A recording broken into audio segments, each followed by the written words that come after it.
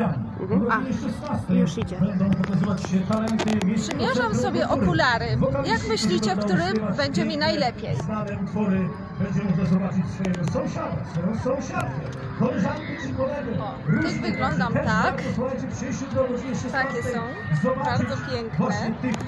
Takie z cekinami, najmodniejsze. którzy będą właśnie chcieli zaprezentować się Wam, tomaszowskiej publiczności, tutaj na dłoniach, na dniach. Drugie takie, 2022. znacznie większe, ale też eleganckie.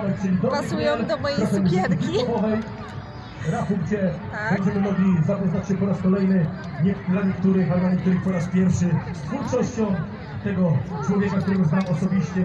Ma też takie bardzo dużo z cekinami, naprawdę. Myślę, że Tutaj pani sprzedaje super okulary. zapraszam na przystań Błonia, Dni Tomaszowa.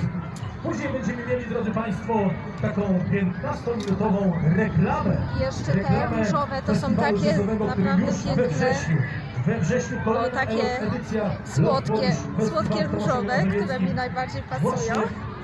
Wtedy Tak. odbędą się kolejne koncerty. Między innymi mogę zdradzić dzisiaj tylko, że będzie to Ewa jeszcze to będę informował Państwa na bieżąco, kiedy I jeszcze będę takie, o. przemawiał, mówił, o kapelusz chodzi. 30 zł. Ale tylko takie o. Trzeba mierzyć.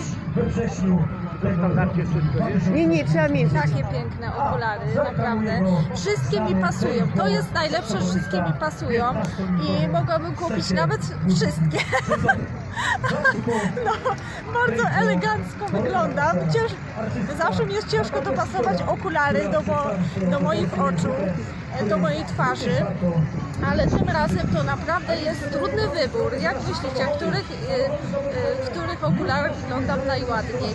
No i oczywiście patrząc w lustro, też inaczej się wygląda niż na zdjęciu czy na nagraniu.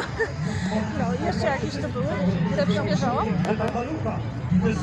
Dobra, je, jeszcze, jeszcze raz te z cekinami, takie z cekinami y, z Faworskiego oczywiście, też piękne. No to Ewelina live'a robisz? Oczywiście. 35. Jadąc Tak. No. Dobrze, to y, dzisiaj na pewno jakieś wybiorę. Zapraszam Was na Błonia, zapraszam Was na przystań na Dni Tomaszowa. Myślę, że przyjdziecie. Do zobaczenia i cześć! Na placu dyskusji, gdzie można było je zobaczyć, a teraz przyjechały